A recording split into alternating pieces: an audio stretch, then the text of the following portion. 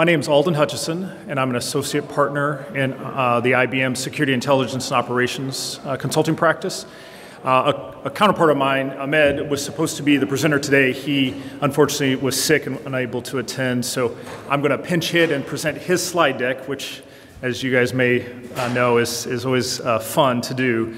But uh, I took some of his slides, added some of my own, so I'd at least have some of my own content to, to, speak to. Um, but I, I, want to talk about the topic of, of incident response preparedness. Uh, and I'd like it to be an interactive session, so I'd like you know the, the audience to also share uh, how you guys are handling this and, and what you're doing to prepare. Um, I don't know all the answers, and I think collectively we uh, the lessons learned across the the uh, attendees can be very helpful to everyone. Um, so I wanted to first start off with a little bit uh, of the uh, data we're seeing from our um, research from our uh, incident response team and, and, the types of breaches they're interacting with and, and the types of things that clients are facing uh, as far as uh, breach vectors and the, the kinds of things that, are, that we're seeing coming uh, to the forefront in the future as well. Um, so we derive this data through lots of uh, sources. IBM is a big managed services provider, so we monitor and manage a lot of networks around the world for clients. Um, our own IBM Corporation is one of our clients in IBM Security, and it is one of the largest uh, clients that, that we monitor. So we see a lot of attacks across a lot of the world, and, and so we, we do have a quite a wide data set that we're able to pull this data from. Um, and then also our IRIS team, as, our, as we go out and help clients with their own individual incidents and recover from them, uh, and we perform lessons learned and, and, intelligence on how that incident occurred, we're really taking all of that content uh, and pulling it back into our, our, research and providing that out to clients so they can learn from those lessons. Uh, and then we also run a lot of honeypots and, and other uh, data sources out there that we can collect information from in order to gather that data uh, and, and, be able to analyze it. So uh, again, in our research over the last three years, we, have continued to see, you know, financial services and the insurance industry be at the top of the list uh, for the, the most attacked sectors. Um, you know, almost 20% of the attacks that we see are uh, at those targets. Uh, data rich, uh, there's a lot of content there that can be exploited and leveraged either for monetary gain or that intelligence um, to gain more insight uh, around individuals uh, and use that individual uh, data to to you know turn it into uh, opportunities to either exploit those individuals further or to, uh, to you know turn that information into ways that client or other individuals can you know gain monetary value from it. So social security numbers, insurance data, performing fraud with that intelligence and that information they're gathering. Um, the second on the list is the transportation industry. So uh, almost 13% of those uh, that industry uh, is, is, the total uh, part of the attacks. Uh, again, you know, we're seeing those spread across distribution companies, across uh, airlines, any you know transportation-related industries. Uh, and hackers leveraging that the content that they're gathering um, to, again for other exploits and, and other breaches. The, uh, the most common vector to get in is the individual, is the, the phishing attack. Um, it has continued to grow uh, as a threat vector, and as many tools and technologies as we put in place to protect the infrastructure, the, the human is still the, the weakest link that um, the, and the attackers know that and, and they continue to go after it. Um, we also are continuing to see the target of their webmail accounts versus their corporate accounts being uh, even more uh, of a target. And often uh, individuals, there's less security controls around those webmail accounts. And so it's uh, an even softer target than, than targeting the corporate accounts where you may have phishing tools and other um, technology in place to help protect against those avenues. So, you know, our clients are then trying to determine how much do we allow personal email and, and these web applications to be leveraged in the environment if they are such a uh, target. Uh, and so it's you know, something to consider as, as, you consider your, your acceptable use policy and your security policy whether you think that is um, acceptable and, and, and, the risk you're willing to take. Um, and I'm just curious, so we can try to get some uh, audience interaction here. Do you, is webmail, Gmail, personal email something that's acceptable in, in the environments you guys operate in? Is that something that you're allowed to do? That's not where most will come. I work in the MTA Metro, and because it's in the cloud, you know, Outlook, right, it's horrible. So, Yeah. you know, Yeah, and I do see, uh, to that point, uh, a lot of my clients are shifting to, you know, Office 365 and webmail, and even the security controls available in those cloud environments aren't necessarily as robust as what you can del- deliver on-prem today. Yeah, yeah. And so, it, you know, you're, now you're depending upon some, some web uh, cloud controls that aren't necessarily going to protect you the same. So it is a, it's interesting from a business perspective to save the money to move to these cloud services, but it's a different, definitely a different risk that you're taking on and, and helping uh, the corporation or, or the, the entity understand that is important. You know, what is that acceptable risk and how much are we exposing ourselves uh, to these things? Um, so we saw again the number of uh, assets being disclosed. Again, a, a bigger increase. There's been some really large breaches that, of course, drive up that number. Um, but the, the total number of records, you know, when uh, attackers are getting in, they are getting uh, a large number uh, of, of records and, and able to uh, increase the, uh, the amount of information they're capturing. Um, and some of that is driven also by uh, the number of, of, vulnerabilities available to exploit. Um, there is, because of the growth of cloud applications, there's more um, software being leveraged by an enterprise, by an organization, um, and that uh, increases your surface and the, the amount of ways that you can uh, be exploited. So uh, the number of unpatched vulnerabilities uh, has continued to grow. Um, and what we're seeing is clients are struggling to keep up with that. Uh, how do they patch all of these things? If you've got hundreds of thousands of vulnerabilities, how do you prioritize that work? So one of the things we're trying to help clients drive toward is prioritizing those based on how much those uh, vulnerabilities have been weaponized. So we leverage our intelligence research organization to look at what are the bad guys using to attack clients. So this is where our research comes in play. What are those toolkits and what um, what pieces of, of content, what tools are in those toolkits, and then we help drive the client's patching priority based on that. If you um, look at the CVSS score alone, something may be ranked very high on the score, but maybe theoretical or may not be weaponized. So, but you may have a low or medium scored uh, vulnerability that is being actively targeted and being leveraged in a lot of toolkits. Those are the things you need. You need that outside intelligence to understand how to drive your your patching program. So I think it's important to consider that as part of your, your vulnerability um, and patch management program and, and really help reduce that surface area as much as possible. Um, another uh, major trend we've continued to see is uh, um, coin jacking or uh, malware being leveraged to specifically do coin mining in clients' environments. Uh, while you know, the individual activity may not be a big threat to you because it could be someone just trying to leverage uh, an asset within your organization for monetary gain. It now opens up a, a new vector that could be exploited further. So, um, you know, we've seen clients who um, haven't necessarily treated this as serious uh, in the past, but then those those uh, exploits have been leveraged for later attacks. So definitely want to make sure that as you see these things that may, may, be more of a nuisance to your organization than an actual direct threat, but you, you want to ensure you detect those things quickly, uh, mitigate them quickly so that you can, again, uh, lower that surface area and, and minimize the, the exploitable um, surface. And then one thing we've also seen, uh, oh, sorry, is there a hand up? Oh, yeah.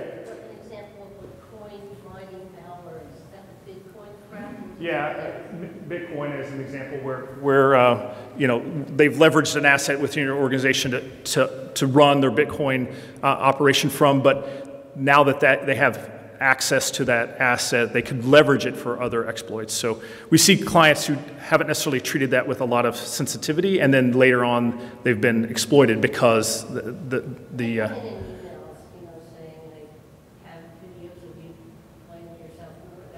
Sure. Right.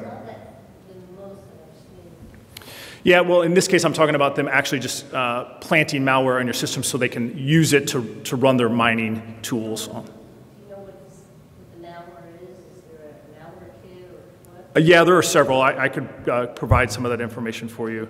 Um, it, it's definitely something we're seeing more and more uh, active use of as, as uh, people are looking at ways to, to uh, leverage the tools they have to, to make more money. They're, they're trying to attack and, and use these systems. You know, in the past, you might uh, see them using these systems to perform DOS attacks against other clients. Now they're trying to leverage it for monetary gain through, you know, through coin mining and other activities.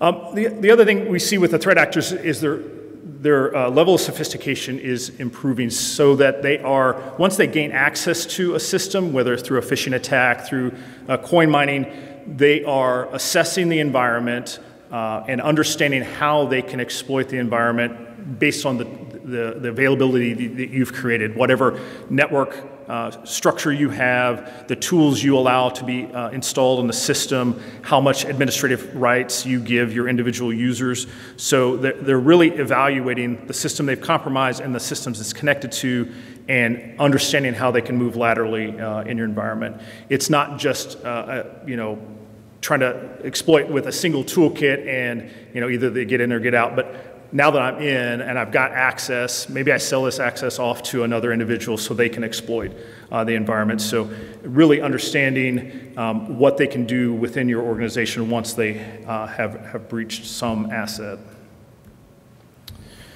Um, and then things that we have started to see emerging uh, um, now that clients are starting to leverage blockchain more uh, in their environments, we are now seeing active uh, uh evaluation of uh, how those blockchain uh, contracts and that, that chain can be exploited or disrupted.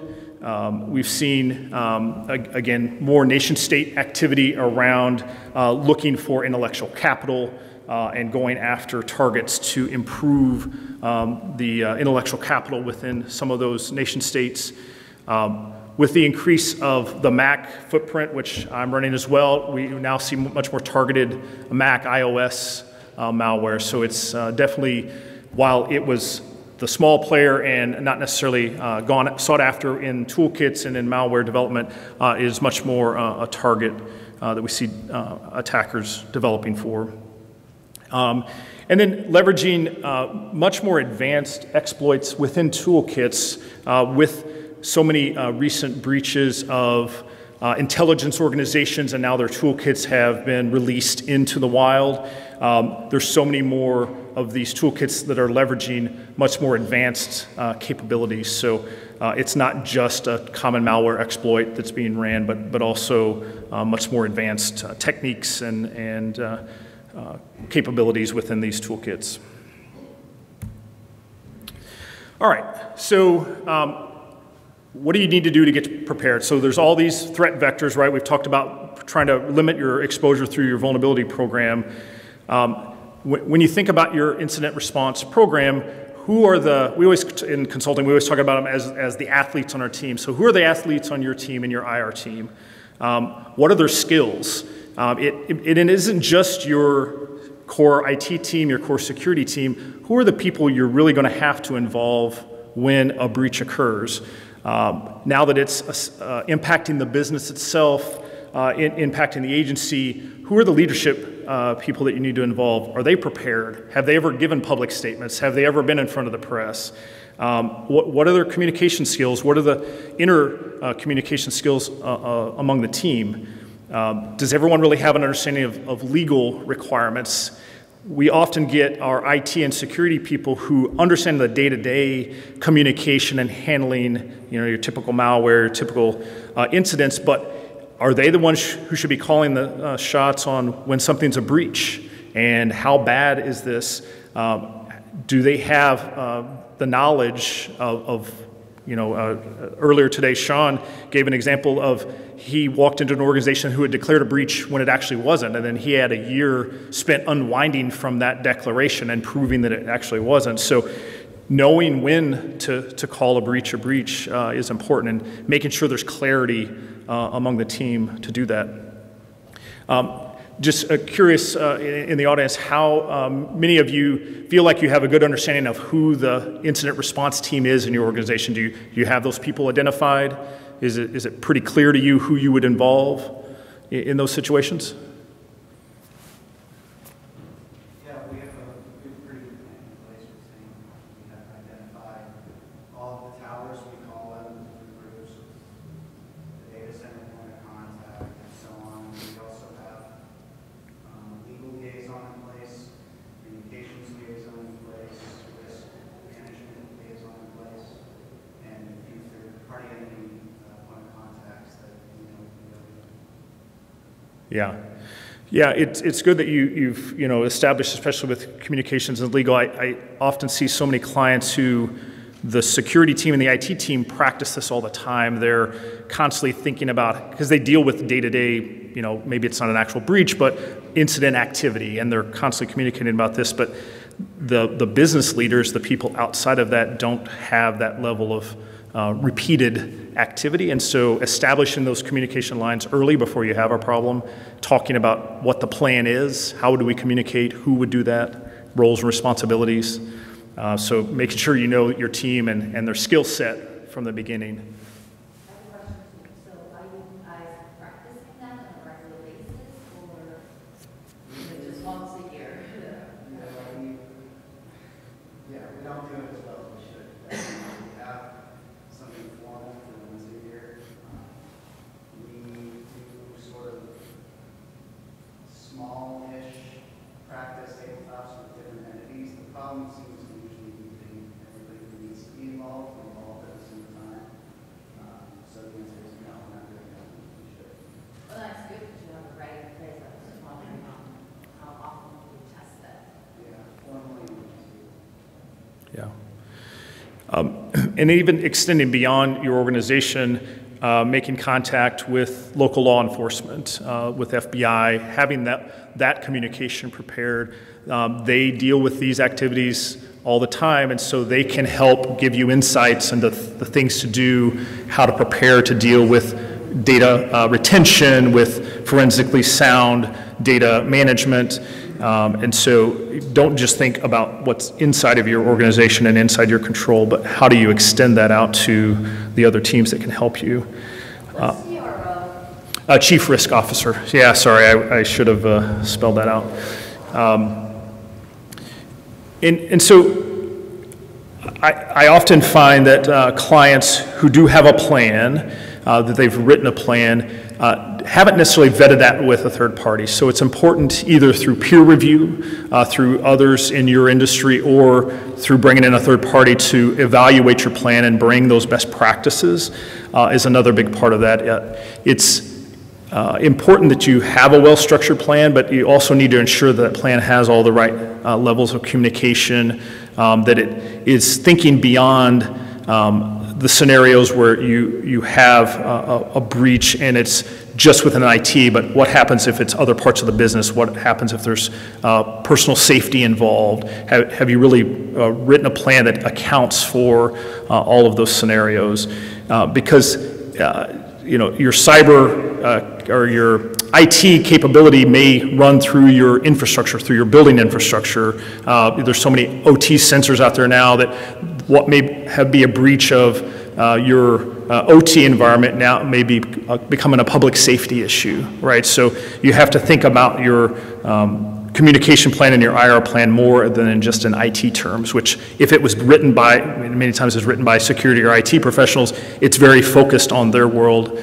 So you need, um, you know, to have people evaluate it to think about the rest of the organization and the rest of the business. what is those things? Uh, your operational technology, so uh, uh, electronic controls of water, gas, electric, um, building elevators. Um, you know, we'll often see clients who uh, suffer a breach, and once they're in your network, they're now controlling your building systems as well, or have the ability to control your building systems. Um, you know, the Target breach was through the HVAC vendor uh, environment. So not necessarily that it was targeting OT, but your OT environment now exposes you to uh, as much uh, of a threat as your IT environment does. Um, of you that, that have IR plans in place, do you have a third party uh, that, that's reviewed them? Have you leveraged maybe a peer review with someone else uh, in a similar industry? Uh, you feel comfortable that they're, it's well vetted? Any? No one's got a plan? It's not well vetted? Yeah. Yeah, it, and it's, it's one thing to have it written on paper, but if you're not practicing, if it's not something that's living and breathing, it, it's going to be a problem for you should you have uh, major breach activity because if it's not uh, something that you know by heart, you're not going to, in the middle of the firefight, pick up the paper and make sure you're going through all those things. So it needs to be something that it comes natural to people. So you need to have it uh, well rehearsed because as soon as that first shot's fired, um, all those pieces of paper go out the door. So that, that exercise process, um, it's good to have tabletops. It's good to have small team tabletops that work into the Indian workflow. Um, but how realistic are you making those exercises? Um, are, are you guys able to leverage any um, third party to help drive the realism of simulate an attack in your environment and then uh, don't even inform people that the attack is occurring and watch their reaction to following that IR plan. Um, have any of you guys leveraged a third party to come in and perform a, like drive your tabletop for you? Yeah, it's kind of late. Yeah, it's not been as realistic as it. Well, it's complicated. Okay. Um, wh- When you guys uh, think about your plan, do you have things that, again, make it easy for people to follow versus a document like uh, a communications card, something they carry around with them so they know in a cyber breach, in a business incident, who to call, uh, how to contact people? Um, I think that's, again, very important that you think about um, not only the normal business communication, but what are those out-of-band communications? Because your IT system may include your phone system. It may be an IP phone system. So if it's down, how are you contacting people? Do you have a cell phone list? Do you have personal numbers? Uh, do you have personal emails recorded for people? So you have to think about, again, in your plan, those worst case scenarios and ensure people are armed with the information they need. Um, if you lose key people in that uh, IR plan, if the IR plan says the CISO is going to call, um, you know, up the chain of command and they're no, no longer available, uh, if they're part of the disaster that occurred, how do you route around those, uh, those losses? So, you know, preparing for those scenarios as well. I may have missed it on your last slide. Where does your PIO fit? PIO, can you? Public Information Officer. Yeah, it- it- I refer to it as communications, but you should absolutely have uh, established what that communications plan is going to be as, as part of the IR uh, program. So who is going to do public communications for you? Um, Pre-can some uh, announcements. Um, If you have a statement written and ready, and you maybe need to fill in a few details about when it occurred and what's involved, but the more you can prepare for those scenarios and have that laid out ahead of time, uh, the better off you're going to be. So that, that should absolutely be, be part of the, the, uh, the plan. And not, you know, uh, press announcements, uh, potentially going on uh, radio, television to have to speak to reporters. Um, even dealing with reporters as they call in. Uh, if reporters find out about a breach, they may start calling randomly into the organization do your individuals know what to do? Do they route them to your PIO? Do they answer the, the call themselves? Um, so you, you've got to train even beyond your core staff that's part of the IR program. How do the rest of the organization deal uh, with the situation when um, there's scrutiny uh, involved and when there's outside people looking into this?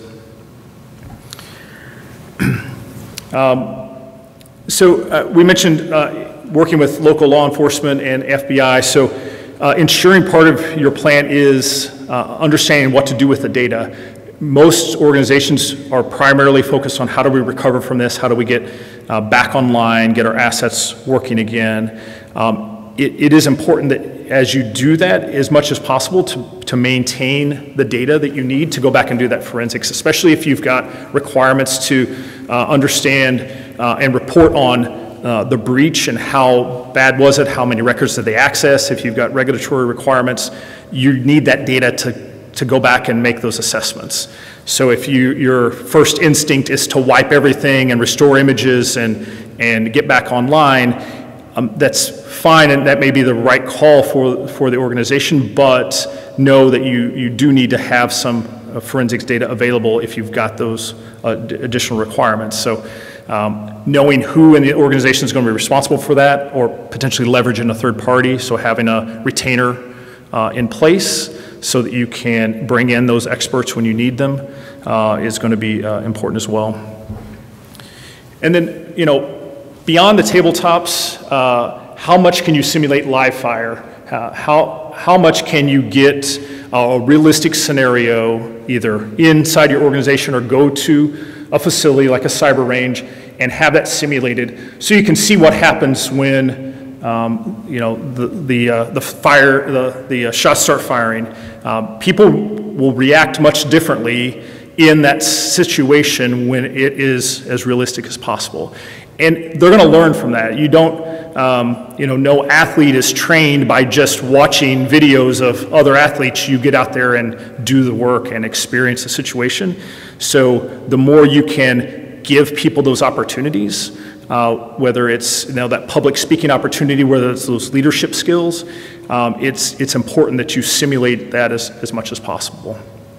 Uh, that's one of the drivers behind why we developed a cyber range for our clients so that we could create those scenarios and give them as much of the effect as possible of if this happens in your organization, what are you going to do? Who are the people that are going to respond? Um, if your communications officer is unavailable, what do you do now? Who's the next person in line that steps in front of the camera? Are they ready for that job? Um, so you, it really allows you to see who's prepared in your organization and who's not. And it gives a lot of visibility into the rest of the organization outside of IT and security of why this is an important function.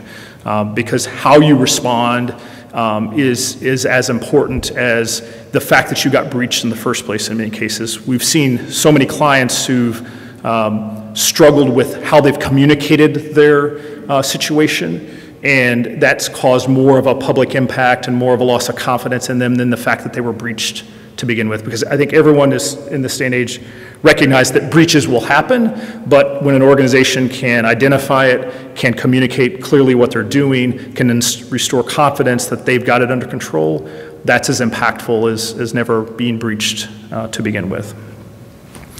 Um, out of curiosity, have you guys uh, ever been able to participate in any kind of live fire scenario, any kind of cyber range or simulation? Um, have you been able to do that? Not internally, but um, Idaho National Labs puts on fabulous training. It's like two or three days where you, you do live fire. Idaho National Labs. Idaho National Labs? Yeah. If you get a chance to do that. Yeah, a- absolutely. I mean, any, any of these facilities, you can uh, either, you know, the more technical simulations where you put your uh, IT and security teams through it, or the more of the business situations where you put your business leaders and, uh, you, you know, the, the people outside of the direct IT organization. The, the, the more you can do that, the better. Um, we done on time. All right, so I, have got a, just a, a quick uh, video of the cyber range experience that we developed. Um, I, have been through it a couple of times with clients, and, and one thing that was most, um, like, that I realized the most is it, it's hardly about the IT experience. It's very much about how does the business communicate and how does the business interact. Uh, and, and that was most impactful to me because in my mind, you know, being in security for the last 20 years, I've always been focused on how does IT deal with the response and recovery, but so much of what happens and so much of the bad things that could happen happen with how you communicate to the press or what the business leaders decide to do uh, to respond to this. Do we, do we um, you know, just wipe everything and restore? Do we try to uh, mitigate and contain the situation?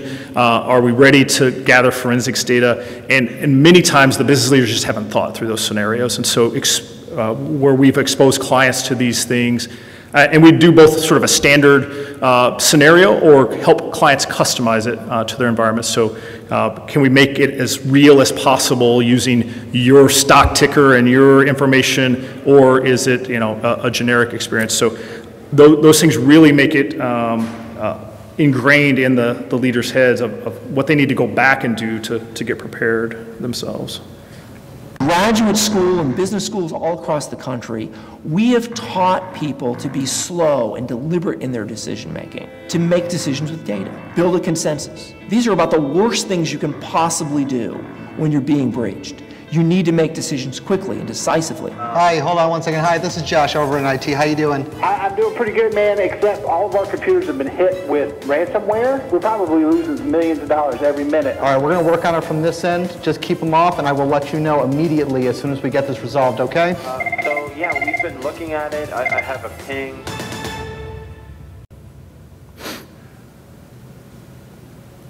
What happened was originally I thought that it would be slowly paced, so we had an opportunity for something to happen and then we would react and we would be able to talk about it, we would be able to gather information and make decisions based on facts. That's how I normally do in my workplace.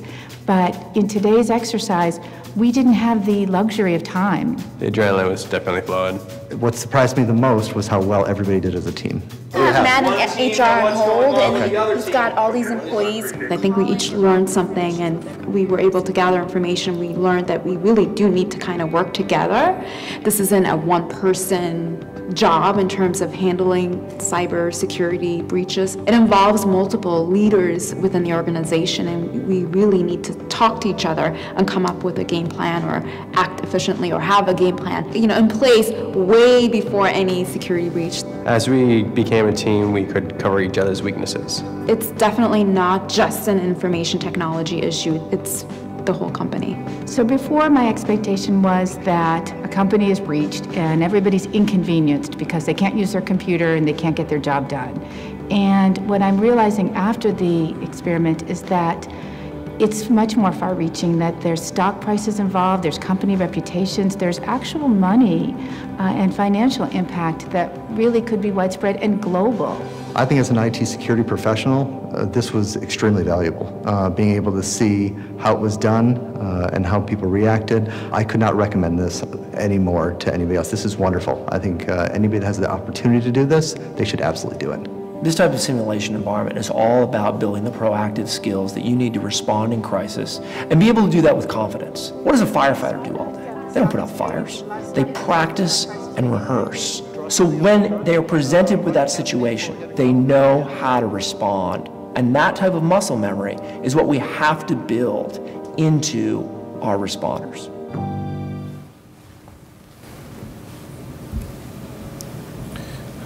Let's get off this page before something bad plays next. Um, So th- that, that was the, the end of my slides. Any other uh, comments, any lessons learned? You you guys want to share any other things that you think are important as far as preparedness goes? How do you determine at what level that you either have an incident or a breach? Can't you just spin it and say, well, it was just an issue or something like that? Because I seem to run into that problem a lot where it's not communicated.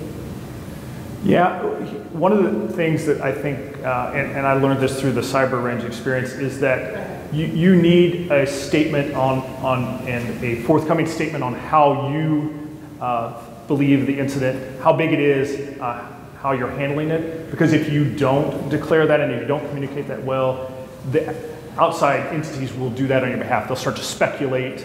You know, we believe the incident uh, is affecting this number of users, so it's important that um, if you know you want to control the message, but you don't want to necessarily spin the message and manipulate the message because eventually the, the information could get out and then you're, you look worse than you did to begin with. If you look at how Equifax handled Yeah. their communication, it, it's only this big. Oh well, now it's actually more.